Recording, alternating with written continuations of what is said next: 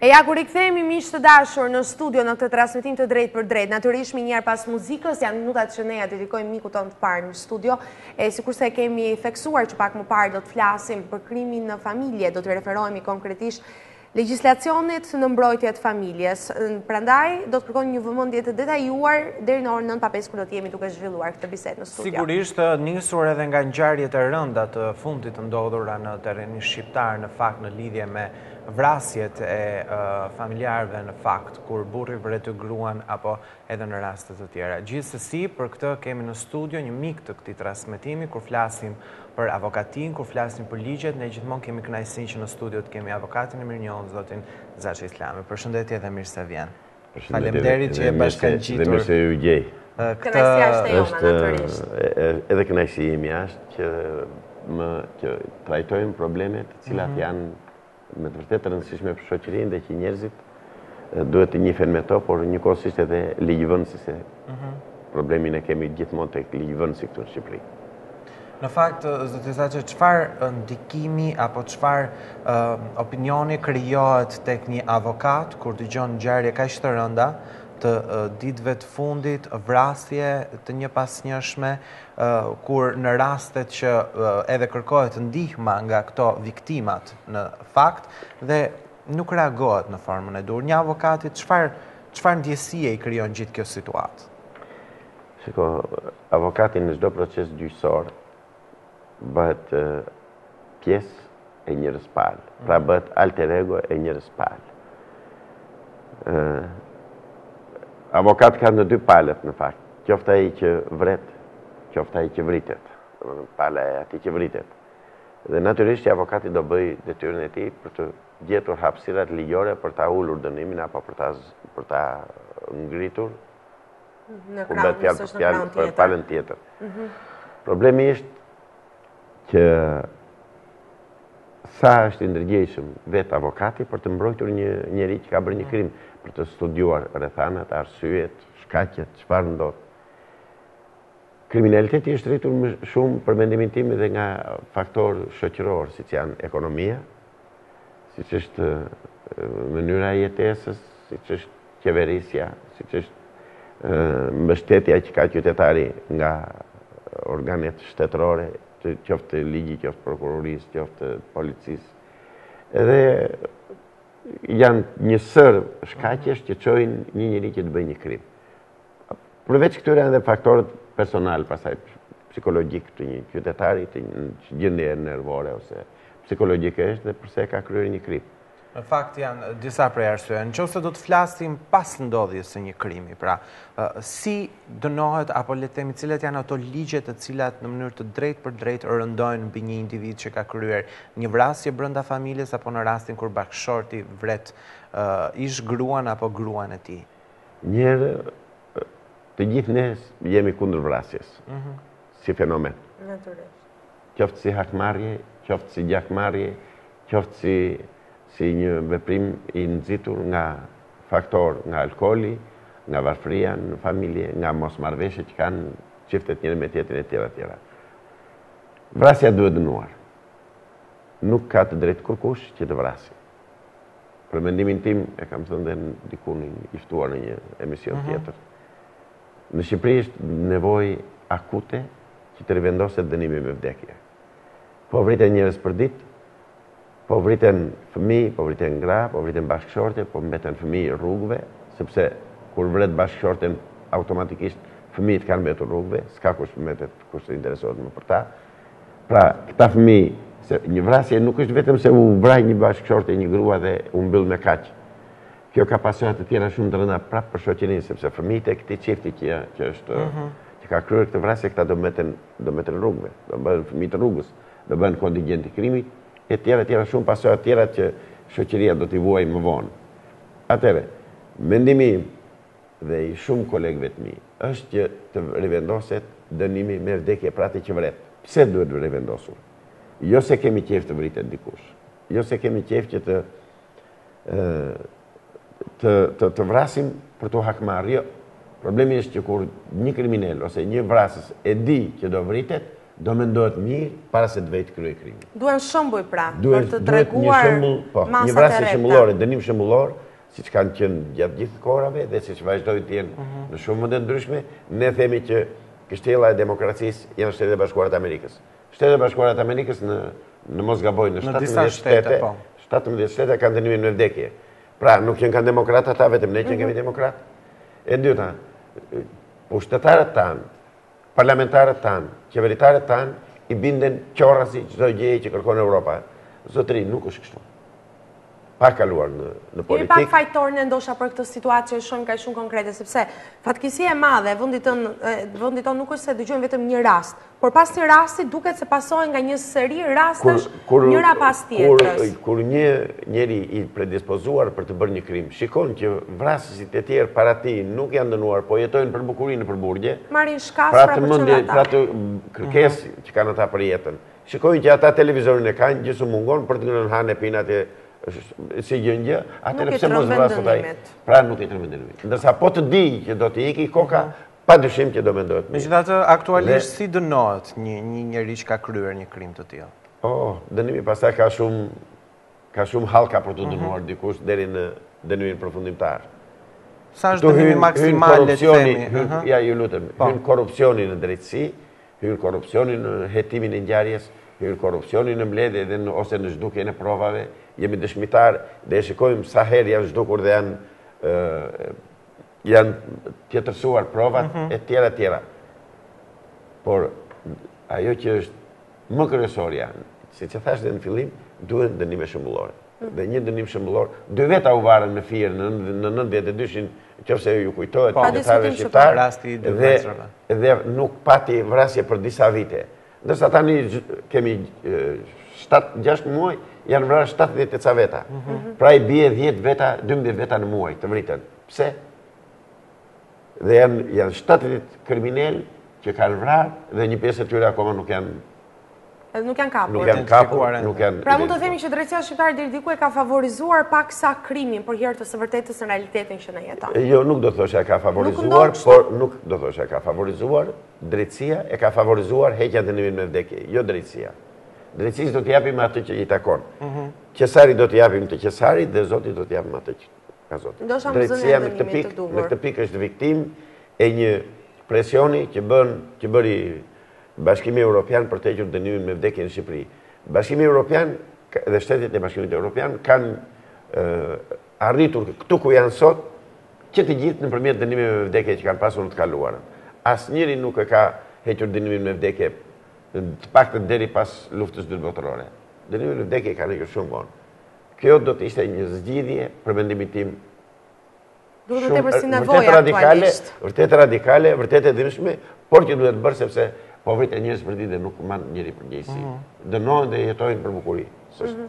Nuk e vuajnë. Cili ka qenë dënimi më i lartë, le të themi, për një individ që vret?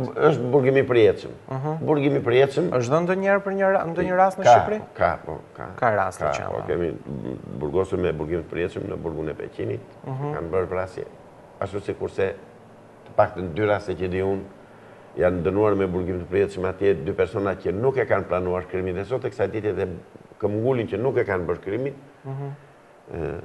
Prandaj edhe edhe në këtë pikë duhet që hetosia, prokuroria, njerëzit që të specializuar, organet e specializuara për këtë punë, mhm. të shikojnë mirë, të hetojnë mirë. Për sa kohë një individ ngul këmbë për kohë kaq të gjatë. Është ai postulati i famshëm në drejtësi, më mirë 100 kriminel jashtë se sa një i pafajshëm izoluar. Në fakt, në qoftë se do të flasim për drejtësinë, kemi patur një temë dje në emisionin tonë dhe publiku ka reaguar se sa besim kishin ata tek drejtësia dhe është pikërisht një temë që ne, okej, kërkojmë drejtësi, mungon, por nuk reagojmë. Juve në këtë pjesë, si çfarë duhet bërë nga qytetarët, çfarë duhet bërë nga të gjithë ne, apo edhe nga njerëzit që janë prekur në fakt nga mosdhënia e domethënë e hakut, le të themi, si duhet të reagojnë qytetarët për të fituar të drejtën e tyre? Mos ndoshta fillon problemi që tek ne, të cilët nuk dimë si ta kërkojmë të drejtën tonë më pas tek drejtësia, shteti apo instancat përgjegjëse? Si mendoni ju? Unë pak më parë në bisedë jashtë kamerave thashë një fjalë me këtë mhm. me zonjushën që unë jam radikal për veten time në zgjidhjen e problemeve. Reagimi është një protestë mbarëpopullore që drejtësia dhe parlamenti të bëjnë ligje, parlamenti të vendosë ligje të ashpra në lidhje me krimin dhe drejtësia t'i zbatojë ato me detyrim pa, mhm. pa, pa kushte. Asnjë gjë nuk vjen pa protestuar dhe pa kërkuar. Duke qëndruar në heshtje, është e pamundur të gjesh edhe zgjidhje. Ne jemi pasivë për gjithçka. Ne jemi një popull që kemi 70 vjet që jemi lindur, rritur dhe plakur me fjalën hesht. dhe kjo bën që të kemi këto, këtë situatë. Shpeshherë në fakt e kemi diskutuar edhe në studio këtë temë me shikuesit dhe reagojnë duke thënë që ndoshta të lodhur nga mosgjetja e zgjidhjes, gjejnë mënyrën tjetër të heshtjes, se gjithashtu nuk është një zgjidhje, apo jo? Këtë doni pak a shumë. Më thatë të lodhur nga moszgjidhja. Shiko, keni vënë re dhe kemi bërë dhe në shkollë, mhm. te seleksionimi natyral. Luani në xhungël, Kap atë kafshën që është e lodhur, atë që është më e sëmura. Ajo e pëson. Ajo bëhet viktimë. Po u lodhëm, ne bëhemi viktimë e krimit. Kjo është, kjo është mendimi im. Dhe unë mendoj që në këtë pikë, qytetarët shqiptarë jo vetëm që s'duhet të lodhen, po duhet të rrinë në këmbë dhe të rivendosin gjërat aty ku duhet. Duam të vemi në Bashkimin Europian, duam të bëhemi pjesë e komunitetit Europian, Por jemi akoma vite drite larg Bashkimit Evropian. Duke filluar që nga higjiena në qytet, në rrugë, në lagje, në pallat, kudo. Se kjo është një temë që hap probleme nga nga nga më të ndryshme deri probleme pafundësisht të të që jetojmë përditë. Po e marr një rast që nuk i takon kësaj bisede, por po e them. Kemi kërkuar që të mos ngjiten afishe nëpër shkallët e pallateve, të mos bëhen pallatet objekt, kështu, nuk pyet njeri, nuk, mhm. nuk merret njeri me këtë punë. Kemi një polici bashkiake që nuk e ndjek problemin, kemi policinë e shtetit që prapë nuk i ndjek. Edhe janë një sërë faktorësh që e kanë sjellë situatën deri këtu. dhe vijmë pastaj përfundojmë te krimi, që për një fjalë goje, apo pse më pe shtrembër, mhm. apo pse më gërvishe makinën, Deri këtu kemi arritur. Shumë të guximshëm kanë përfunduar shqiptarët. Deri sa të po marrin jetën. Janë të guximshëm me kokë. Pikërisht pra, në aspektin negativ pa diskutim. Duket se një guxim i cili i ka përfshirë të gjithë edhe ndoshta problemin më të vogël gjejnë ta zgjidhin me anë të krimit. Konkretisht në këto çaste që ne flasim, në një ndodhi kaq të madhe, situatash e ngjarjesh të ndodhura së fundmi, ka patur masa konkrete të marra? Shiko, masa ndoshta për ta parandaluar. Për ta parandaluar këtu nuk hyn drejtësia në parandalimin e krimeve dhe të ngjarjeve kryesisht rolin kryesor e ka policia. Policia dhe rendi, pa diskutim. Por çfarë ndodh? Duam, s'duam, prapë, se jeta është tërësisht është politike, edhe kur ha bukë bëjmë politikë. Dhe unë, pa hyrë në fushën e politikës, dua të them diçka që është me shumë rëndësi. Kemi punëtorë të policisë nëpër lagje, nëpër fshatra, nëpër zona. Këta punëtorë të policisë, për mendimin tim, Dhe nëpunësat e gjendjes civile janë një, një numër, një, një sasi e vogël e caktuar e nëpunësve të shtetit që duhet të rrinë për një kohë të gjatë pa lëvizur prej mhm. funksionit të tyre. Punëtori i policisë ndërrohet njëherë në tre muaj, njëherë në gjashtë muaj, siç i teket eprorit të tij dhe siç paguajnë, po e them shqip, mhm. për t'u vendosur në një vend pune. Ai për 6 muaj nuk ka arritur që të njohë zyrën e tij se çfarë ka brenda në zyrë. Jo më zonën. Jo më zonën dhe popullin tek e cila do patrullojë, në të cilën do mbështetet, do krijojë ata bashkëpunëtorët e tij me qëllim që në çdo moment çfarëdo që të ndodhë të ketë informacion. Kjo gjë nuk ndodh. Sepse është prishur në në është prishur në qelizë problemi, është prishur tek që te polici i lagjes dhe pastaj vazhdon më lart. Korrupsionet ne i shikojmë, ne shikojmë që vriten njerëz ditën për diell në mes të bulevardit dhe akoma s'kemi një të dënuar, akoma s'kemi një fajtor, akoma nuk është shpallur kush i vrau këta njerëz dhe pse i vrau dhe tjera e tjera. Janë janë probleme që është do t'i vuajë gjithë shoqëria dhe po i vuan.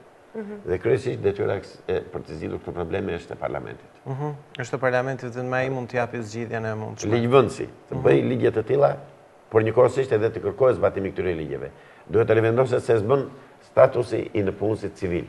Mhm. Polici, që është i plotfuqishëm, siç quhej dikur, ose punëtori mhm. i policisë i lagjes, i bllokut, nuk duhet të lëvizë, do ta fillojë punën aty dhe do ta lërë pas 7-8 vjetësh, pasi të ketë marrë një ndihmës tjetër, t'ia ketë në qoftë se do të transferohet për një x arsye, t'ia ketë bërë të njohur me gjithë problematikën e zonës ku. Të jenë përgatitur dhe të njohin terrenin. Mhm. Gjë që nuk ndodh. Sa mirë ndodhte në kohën e diktaturës që një fjalë goje të shpëtonte ose një një veprim të vogël bëje diku, menjëherë kishte vajtur informacioni te vendi. Tani pëse s'ka informacion? Nuk ka informacion sepse nuk ka punonjës të dedikuar dhe të përkushtuar që ta bëjnë këtë punë.